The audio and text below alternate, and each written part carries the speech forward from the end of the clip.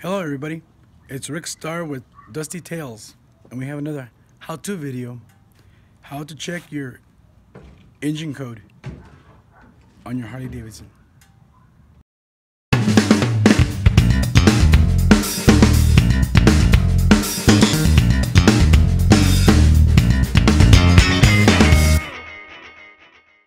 But the other day my um, check engine light turned on and then turned off and turned on all the way down a 45 mile uh, drive on the freeway. I didn't feel anything wrong with my bike, so I kept on going. And since it didn't stay on permanently, I didn't stop. So I'm here at home and the light came on again, so I'm gonna check the check engine light. And here's, this is how you do it. First you make sure your switch is on run. You hold the trip meter in and then you turn the ignition. As you can see, it does a diagnostic of your system, shows you all the lights that, that are available for your bike. You let go of the, the button, you press it again, you get this thing that says Psst. Oh, as you can see, the, the P is flashing. I think that's for the power systems. And then you go to the next category would be S, SP, So when it's flashing, you hold the button down. And it gives you the, this one has a code right away. P0563.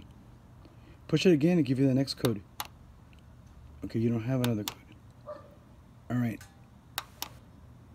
So you press it again until it comes back to this menu. Then if you press it quickly, you go to the next um, category. You hold it no error codes on that one. Push again. Push it one more time, and you're back to the code. Push it quickly, and you go to the SP. You hold it. No codes there. And you go to the last one. You hold it.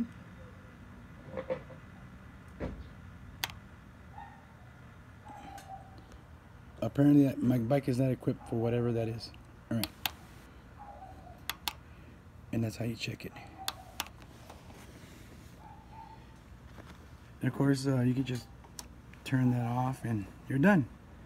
Now remember, keep those codes because that's the code that if you accidentally clear one, I'm not going to show you how to clear it. The dealership or whoever you take it to will do so.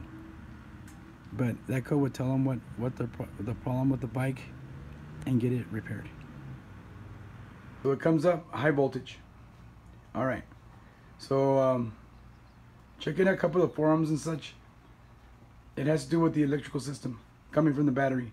So I'm gonna look at the battery. I'm gonna check these two cables out. It's 10 millimeter. Get it out. Okay, I hooked up my battery charger. It's to run a diagnostics.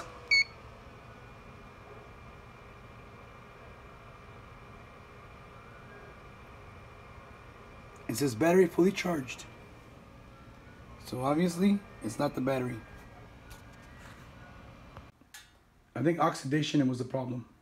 Because I cleaned up all the terminals, put the wires back together, and I haven't gotten the code anymore. I hope this video was helpful. This is Rick Gonzalez with Dusty Tales. And get out and ride.